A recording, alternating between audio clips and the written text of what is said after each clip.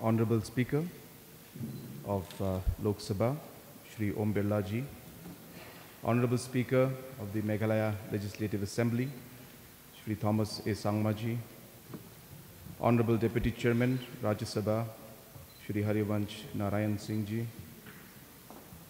the CPA India Region Zone 3 uh, Chairman, Shri Pasang D. Sonaji, all the respected uh, honorable speakers who are present out here, all the deputy speakers, all my cabinet colleagues, and all the cabinet ministers from different parts of the Northeast, all uh, our respected MLAs, our uh, Secretary General of the Lok Sabha and Rajya Sabha, and all the other officials who are present out here today.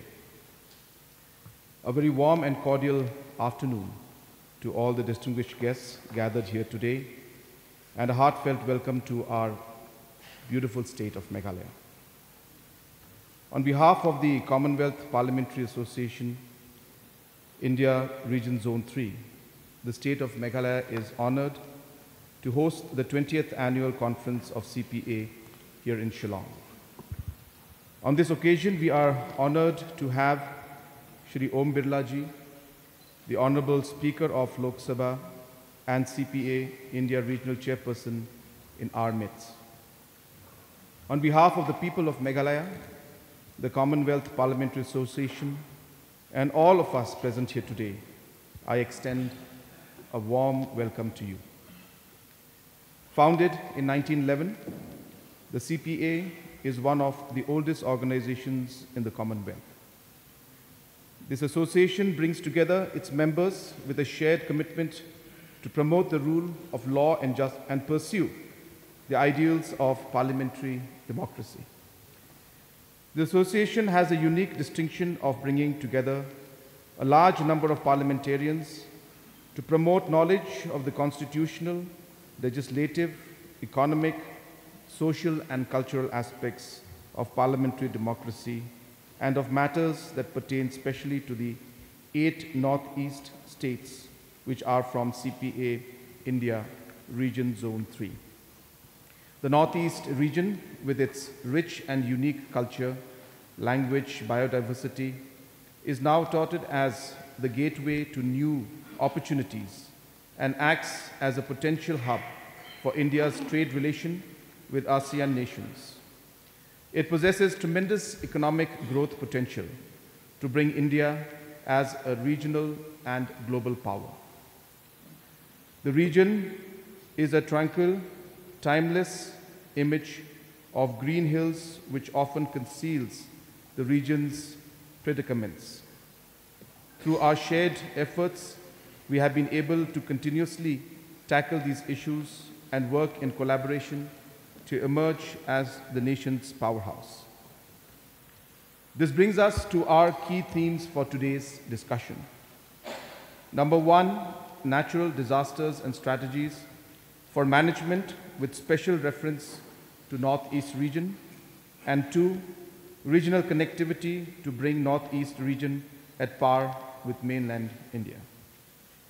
Our geographical location in a high seismic zone and mountainous terrain, coupled with the effects of climate change, leave our region prone to natural disasters such as floods, landslides, cyclones, droughts, and earthquakes. Heavy floods, landslides, cyclone droughts, and occasional earthquakes have now become regular occurrences. These calamities are always a setback to the pace of development, something that we need to encounter with a resolute determination and an effective response mechanism. This reminds me of the recent floods in the Garo Hills, where a timely and coherent approach was taken involving the government agencies, private sector organizations, non-profit, faith-based organizations, and volunteers.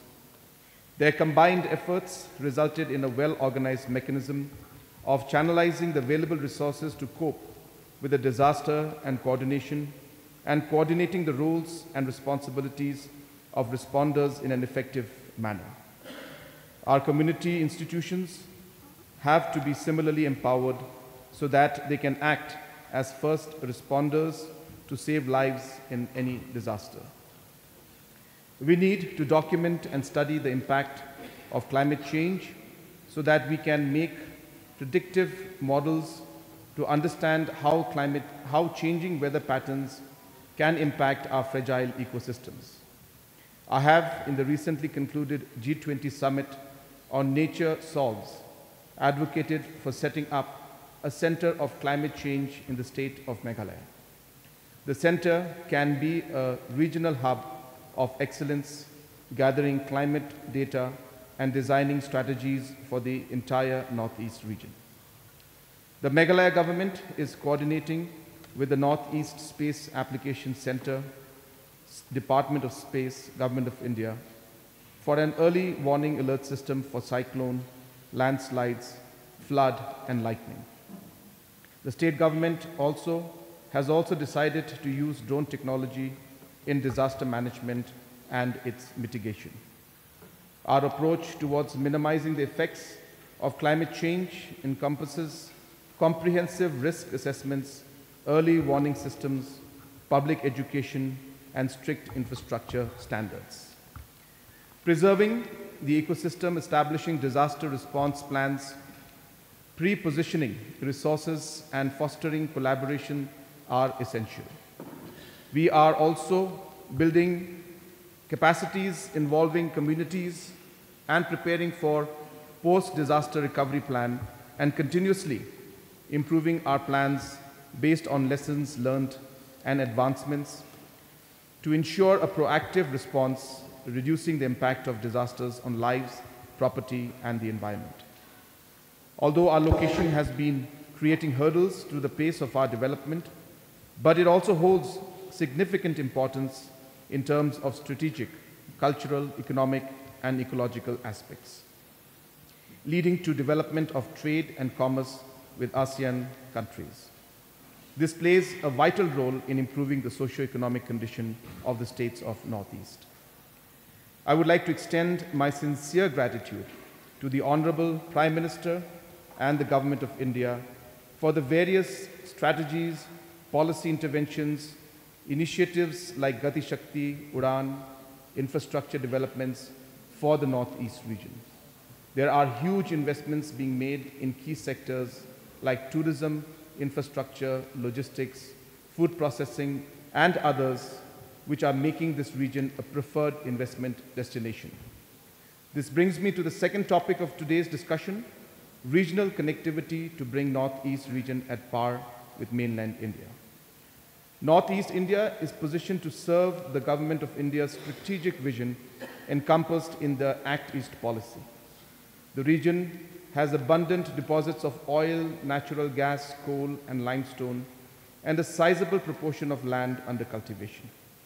Among the countries with which it shares a border, the majority of Northeast India's trade is with Bangladesh, while its trade with other neighboring countries such as Bhutan and Myanmar mostly occur through border points located outside the region. Meghalaya acts as a land bridge for India's participation in institutional forums, including the Bay of Bengal Initiative for Multi-Sectoral Technical and Economic Cooperation and the South Asia Sub-Regional Economic Cooperation Program. Leveraging upon its link with Bangladesh, Meghalaya has been focusing on improving trade activities at the border area. As part of this effort, border infrastructure shall be improved by establishing more integrated checkpoints along with land custom, custom station and border haats. In this direction, road connectivity along the Dauki Bholaganj Road and Tura Dalu Road are also being improved. We also are establishing integrated checkposts and border haats to promote economic activities. Through PMGSY, over 4,200 kilometers of rural roads have been constructed across the state. Through PM Gati Shakti, we are already connecting key economic hubs in the state. In line with this, we are, all, we are soon going to launch a new scheme to connect every single habitation in Meghalaya with roads. Currently, 18 major road projects are being implemented to connect Meghalaya with other states. We are even in, in process of establishing a direct link, a direct link with West Bengal through Mahendraganj Hili Road. This will reduce a distance of 600 kilometers to just 85 kilometers and will foster trade and commerce. Today, with around 10,000 passengers every month, the Shillong airport is directly connected to Delhi, Kolkata, Aizawl, Agartala, Imphal, Dimapur, Dibrugarh, and Guwahati. With the help of Government of India, we are now taking steps to upgrade the Shillong airport to accommodate bigger flights.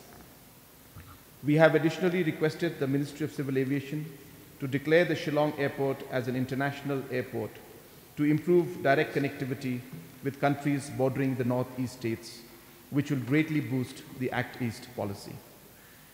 Thanks to the Government of India, under the Act East policy, several projects funded by the Ministry of External Affairs have been undertaken to connect northeast states with neighboring countries like Myanmar and Bangladesh. This even includes the development of an economic corridor. Playing to the regional strength, industry and government partnership can scale up development of the region while maintaining the right balance and mitigating the threats that have existed traditionally. Adopting learning, adopting learnings from small countries of Europe and Asia that have significantly lifted up their economy with limited resources while protecting the flora and fauna shall take the Northeast region's regional economy to higher levels. An integrated approach, greater cooperation at regional and local levels are essential for this development. I believe that a shared vision of costs and benefits through strategic planning and infrastructure interventions are key strengths for the development of the region. As we embark on this two-day conference, I envision a vibrant and intense exchange of views, knowledge, and experiences. We have great opportunities facing us despite the numerous challenges. With the support of the Commonwealth Parliamentary Association members, we will channelize our focus areas by complying and following the decisions and resolutions that will be adopted in the conference.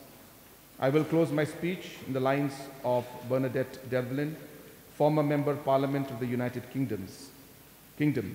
My function in life is not to be a politician in Parliament. It is to get something done, unquote. And I'm sure this is the driving force for each of us here in this conference today. Once again, my best wishes for the success of this 20th annual conference of Commonwealth Parliamentary Association Conference. Thank you. Khublei